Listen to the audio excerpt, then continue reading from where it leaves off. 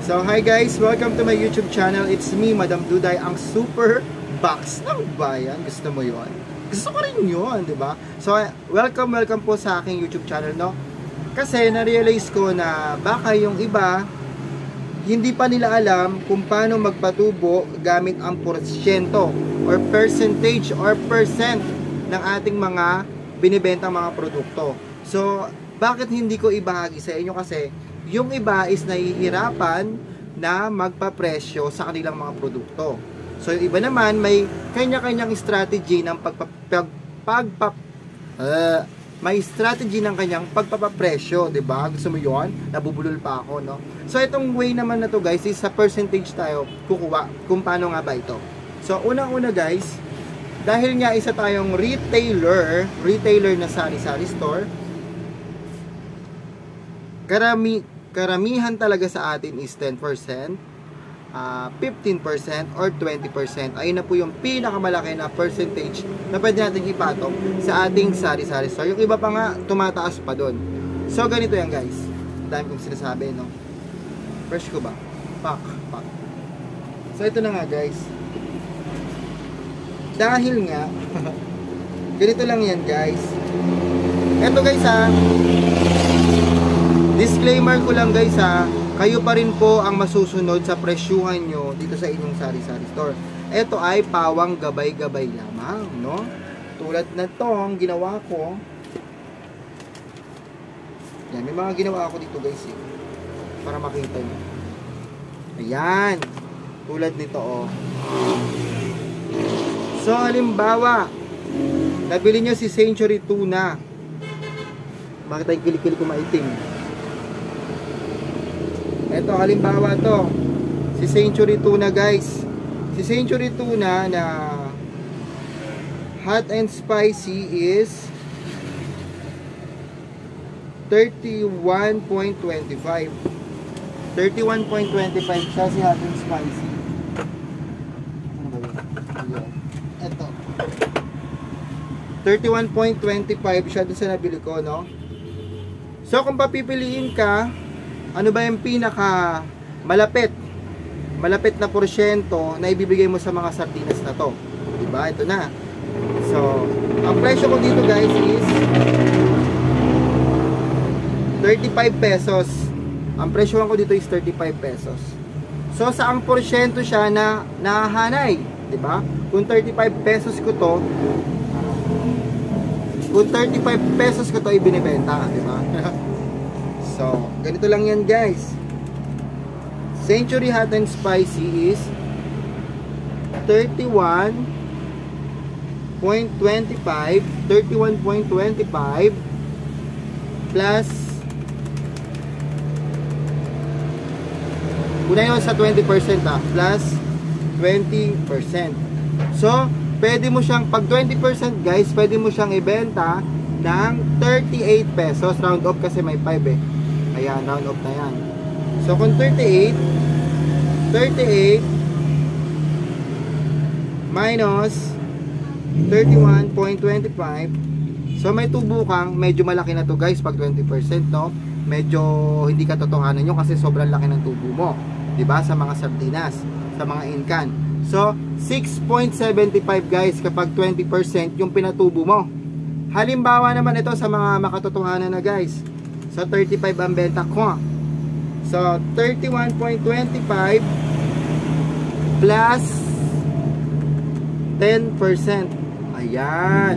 So pumapatak siya ng 34 something, 'di ba? 34 something, no? So 'di ba sabi ko nga benta ko is 35 pesos, no? So 35 pesos, 35 pesos minus 31.25 So, pumapatak na meron tayong 3.75 kada lata. So, medyo medyo malinaw yung 10% na patong natin sa mga dilata. Ayan guys, no? Kung gusto nyo kasi, sa akin guys, yung mga dilata ko is 10% ko pinapatungan. Pero depende pa rin po yan guys, no? Kasi kung alam ko namang mabenta at marami akong paninda, binabawasan ko pa yun guys. So sa, so sa ngayon guys kasi, is konti lang yung ating mga paninda guys no ayun so ganun lang guys mag, magpatong ng prosyento sa inyong sari-sari store, no? So, halimbawa naman, no? 31.25 plus 5%. Oh. Pag 5% naman, medyo, medyo masyadong lugi na tayo, guys, no? Talagang malinaw talaga na 10% pwede sa mga sardinas. Ayan. So, ganun lang, oh. Lumabas siya pag 5%, guys, is 32.8 so round of 33 mga ganun pag 5% no pwede rin naman. So pe, medyo ma, maaliwalas kapag 10% no? Medyo okay okay kasi nga sinasabi nila di ba? Sinasabi nila nag tricycle siya na ganito okay. Okay yung mindset na hindi naman parang sa akin hindi naman okay na porket nag tricycle ka na no medyo dapat mga 10% lang talaga guys kasi kung gusto mo mag ano, mag wholesale talaga guys, is medyo mababa ano. 5% yan to 3% ang pinapatong nila diyan. No, kung talagang ano na, kung talagang mindset mo na talaga, kung alam mo na talaga sa sari-sari store mo na mabenta na, boom na boom talagang binibili, no? Para sa akin guys is ah uh, dun ka, dun ka magbaba ng presyo, no? Kung alam mo namang hindi pa naman talaga masyadong boom yung sari-sari store mo, 'di ba guys? Kung hindi pa naman din masyado yung boom yung sari-sari store mo, wag mo munang wag mong taasan masyado yung mga presyoan mo. Kasi isang technique din to namang isang negosyante na mababa mababa talaga yung presyo nila, guys. Ayun yung sikreto talaga ng nagiging mga wholesaler, 'di ba? Sinasabi ko sa inyo kasi machika ako, uh, makuda, ibig ko sabihin mausisa ako. Ayun guys, kaya pag dumami uli yung produkto natin, hmm, talagang bababa natin yung mga presyo. So sa ngayon guys, mga 10% muna sa dilata ko, no? Comment down below kung ganun din ba sa mga dilata nyo. And then next vlog natin, yung mga alak naman, yung mga chichirya, no? Huwag natin pag ano, isa-isahin natin guys para maintindihan nyo talaga yung bawat porsyento kasi 'di ba? Maganda rin kasi yung meron tayong mga bagong natutunan ng way, no? Way para hindi tayo mahirapan sa pag pagpapatong, 'di ba? And meron pang technique kung gusto mo lang oh, kuya dos lang gusto mo ipatong sa bawat uh, sa bawat produkto mo sa mga delata. Pwede rin gawing na ganito guys. No, kunyari, di ba? 31.25 yan, 31.25 yan, no? Kasi yung, yung iba guys is nira-round up na rin yan eh, pagka may mga senta-sentabo. Nagiging 32 na yan. So kung dos ang ipupuhunan mo dyan, di ba 31, magiging ang bilang mo na yan 32. So 32, 32, 33, 34 ang bentahan mo dyan, no? So 34 minus 31 34 minus 31.25 equivalent to meron kang 2.75 kung kung dos lang yung patong-patong mo sa iyong delata. So, kanya-kanya tayong ano guys, no? Kanya-kanya tayong bentahan, no? Kanya-kanya tayong tubuan, no? Naunawaan ko kung magkano yung pinapatubo mo, 'di ba? Ganun lang guys, no? Kasi iba-iba kasi yung proseso natin sa pagbebenta ng ating mga produkto. Kaya nauunawaan ko kung medyo mataas ka, nauunawaan kung medyo mababa ka. Pero ang pinaka the best talaga guys, kapag lumobo na ang inyong sari-sari store, mababang presyo. Kasi diyan sa mababang presyo na guys, sa mababang presyo na yan guys, is pabalik-balik, paulit-ulit napupunta ang inyong mga customer. Di ba? Ayaw niyo pa ba nun? So, ayun ang strategy guys kapag bultuhan na yung mga paninda mo ayun yung pinupunto ko sa vlog na to guys no?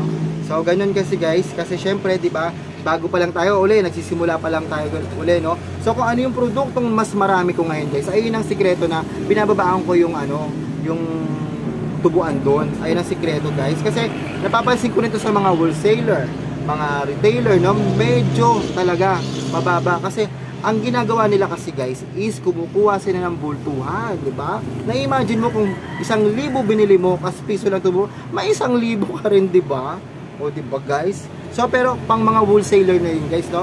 Gagayahin natin yung mga ganun kapag talagang alam mo na na bumuvolume ang iyong sari-sari store. At hindi lang, i-claim it na natin na hindi ka lang magiging sari-sari store. Magiging wholesaler ka rin balang araw. Strategy ng mga negosyante guys na medyo mababa ang kanilang presyuhan, no? Gagayahin din 'yan sa mga masu sa mga susunod, guys. Ayun. Kaya nakiklik yung mga ibang mga sari-sari store guys dahil dun sa pagpapatubo nila. Kahit malayo yung mga kapitbahay nila, malayo dyan, malayo dun, balik ng balik sa'yo dahil ganito lang yan kasi mababa yung presyuhan mo. Ayun talaga yung pinakagusto ng mga customer mo. And then, syempre, alive na alive ka, ituturo mo yung mga produkto pa na meron ka pa. Ganon, baklang to. So, ang, hanggang dito na lang guys, no? Ito po si Madam Duday, ang super box ng bayan, no? Bye-bye guys, thank you for watching. Napakadaldal ko.